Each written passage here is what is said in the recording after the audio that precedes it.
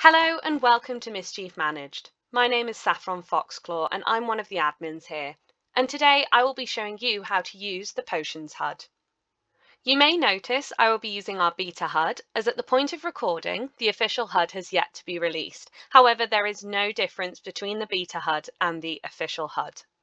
If you have yet to set your Mischief Managed HUD up, pause this video and do that using the video link below to guide you. The first step will be making sure that your skill points are assigned into your potions skill. After that, you may attach your spell journal. And some of you may notice that it's been updated and looks completely different. So this is my skills tab. It's not entirely accurate as I'm using the beta HUD, so my potions points are a lot higher than they usually are, but as you can see, all of my points have been allocated.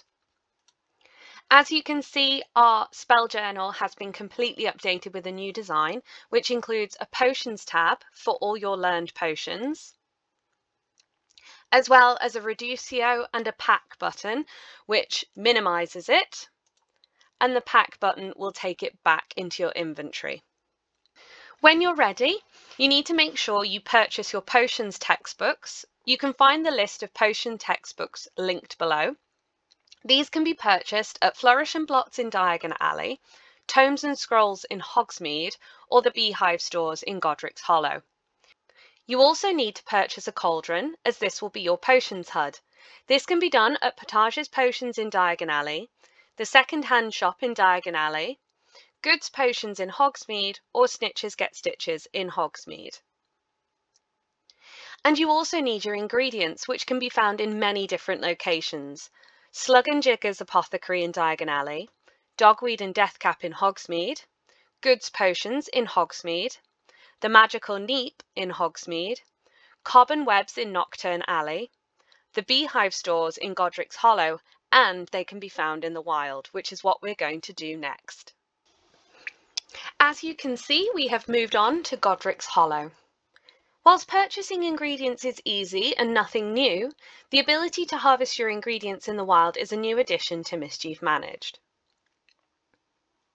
Link below is the approved plants list and the approved creatures list.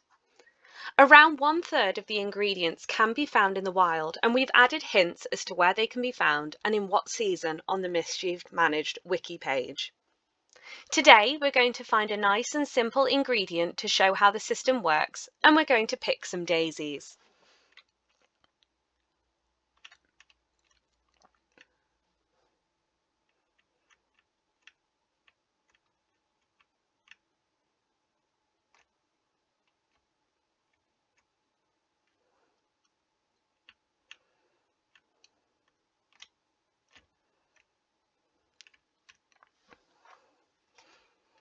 Once you have found your wild ingredient, you will need to select either herbology or magical creatures on your HUD and roll to identify it.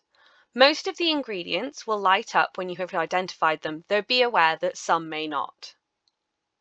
So we're going to select herbology. We're going to identify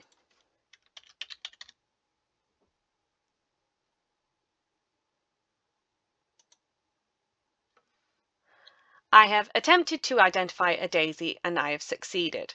So next I'm going to click on the plant here. And then once I've clicked on it, I'm going to roll to care, which allows me to pick it. And as you can see, I have received one unit of daisy roots. You will now see that they have gone into my inventory.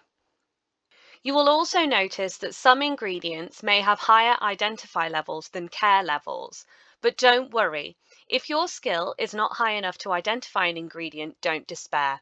Someone with a higher skill level, such as a professor or a friend, can identify it for you so that you can then roll to harvest it. Now let's move on to brewing. For this demonstration, we are going to be brewing rat tonic. The first step is to check that we have this recipe. Recipes like spells and transfigurations are learned from books that can be found or purchased around the sim.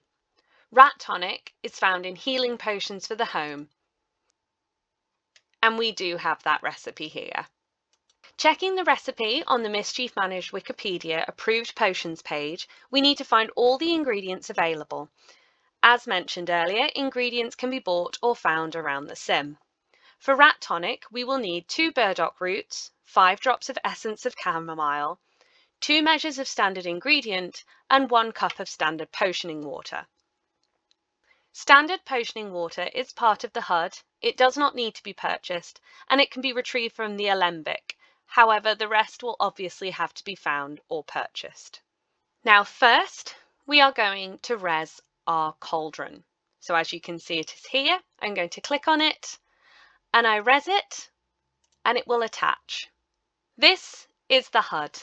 It has several different tools and actions which are as followed.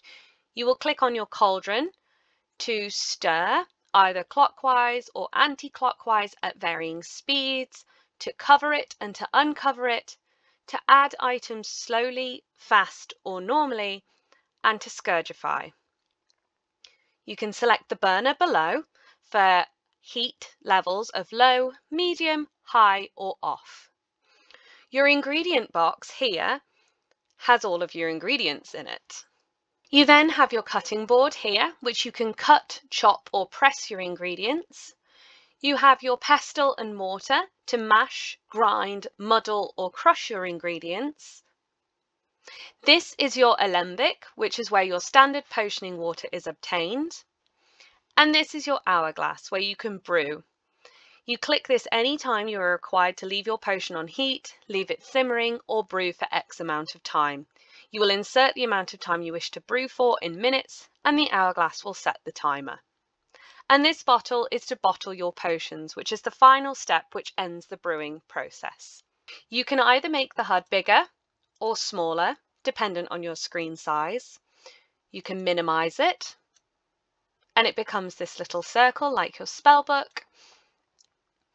You can take it back into your inventory or you can take it back into your second life inventory by pressing X.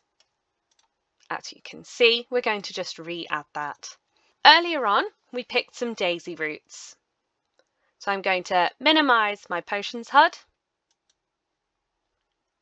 open up my inventory and click on my daisy roots and then I can res them, give them, trade them or trash them as usual. So I'm going to res it and it's going to give me the option to take it back into my inventory or transfer it to my potions HUD.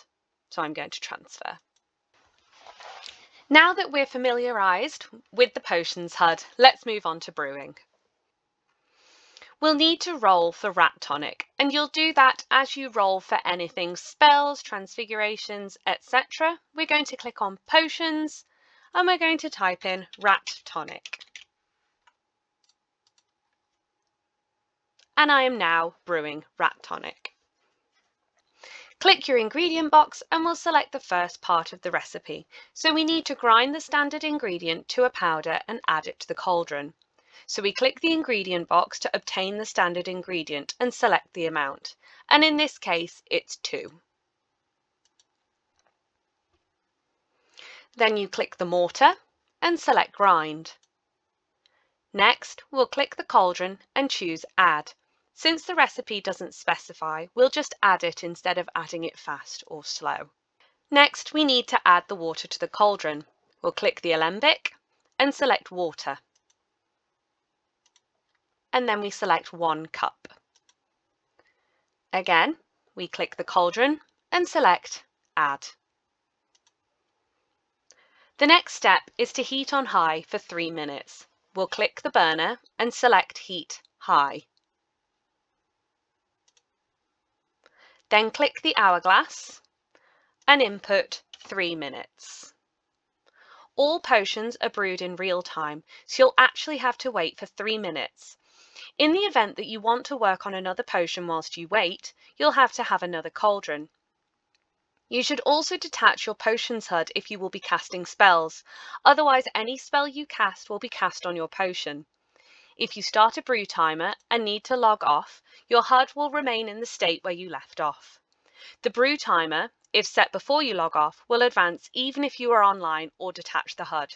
For the purpose of this video, we're going to speed up the process. Now that it's done brewing, we'll add the chamomile to the cauldron. Click the ingredient box, select essence of chamomile, five drops. Click the cauldron, add. Next, we'll stir anti-clockwise seven times. So, click the cauldron and select Stir anti-clockwise seven times. Since it doesn't specify, we'll only choose stir anti-clockwise instead of stir anti-clockwise fast or stir anti-clockwise slow. Sometimes you'll see this in a recipe as stir counterclockwise. This should still be considered stir AC or stir anti-clockwise. And seven. Now we need to chop one burdock root and add to the cauldron. Click the ingredient box, select burdock root 1, click on the cutting board, select chop, click the cauldron and add. Reduce the heat to medium for 7 minutes. So again, we're going to click the burner, reduce it to medium, and then we're going to click the hourglass, and we want this done for 7 minutes. Again, for the purpose of this video, we're going to speed up the process. We're going to chop one burdock root again and add to the cauldron.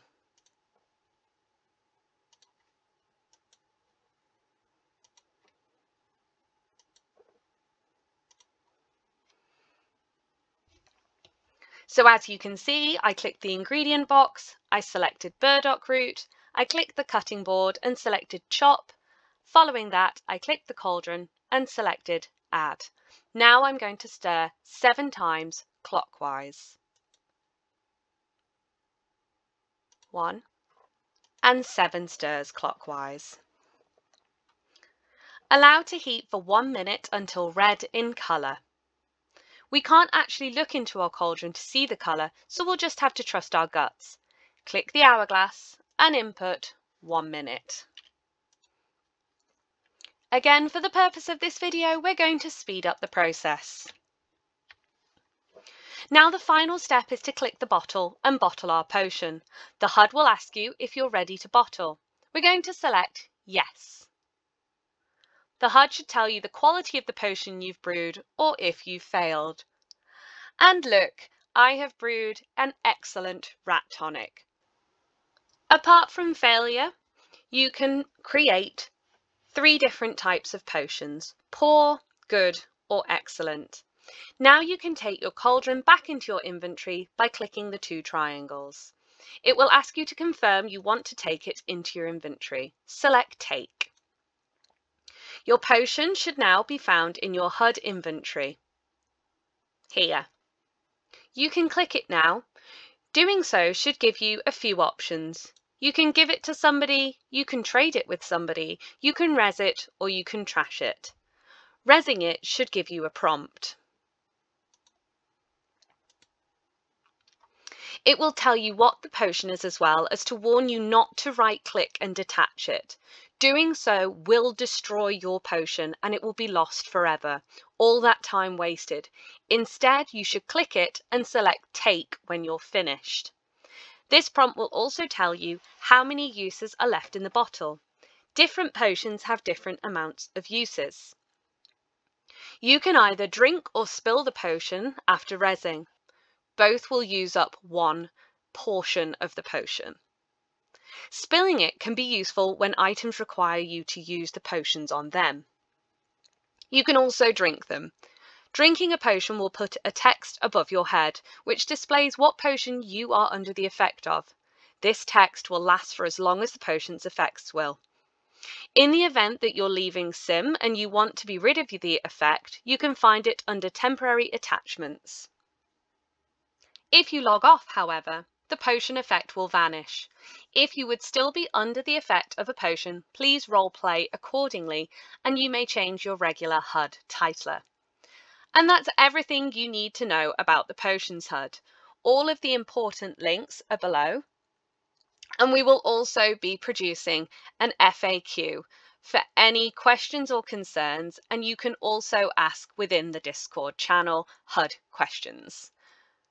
We just want to take a moment to say thank you so much for every single member of Mischief Managed and beyond Mischief Managed who have supported the creation of this HUD, and we really, really hope you enjoy it.